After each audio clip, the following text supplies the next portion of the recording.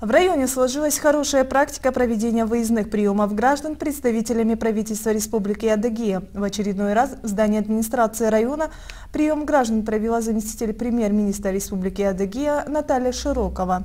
Людей, обратившихся в этот день к вице-премьеру, волновали самые разнообразные вопросы. Это выплаты компенсации пострадавшим от наводнения. Жителей Дмитриевского сельского поселения интересовал именно этот вопрос. Поступление средств, когда было принято решение федеральными органами, мы со своей стороны, муниципалитеты, органы власти республики предпринимали все усилия. Наши специалисты вылетали в МЧС России, вели эти документы.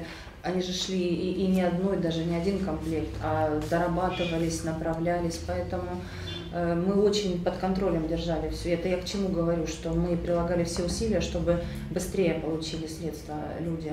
Посетитель обратилась с вопросом о возможности дополнительной помощи. Наталья Широкова, как вариант, предложила решение этой проблемы. Э, интересная вот эта программа, интересна она чем? Она и нам интересна, и населению интересна тем, что за счет этих средств, этой материальной помощи по, по социальному контракту, семья приобретает э, необходимые там, принадлежности или животных для того, чтобы организовать личное подсобное хозяйство и выйти на самообеспечение. Мы за счет сельского хозяйства и живем, мы держим все. Ну, держите, вот можно дополнительно. Вот, вот такую поддержку могу вашей семье предложить. Также были рассмотрены вопросы, касающиеся установки банкомата, в частности, на Тырбовском сельском поселении, расчистка старого русла реки Чихрак в ауле Бличипсин. На эти вопросы были получены исчерпывающие ответы. Также в приеме принимала участие заместитель главы района Марета Туглан.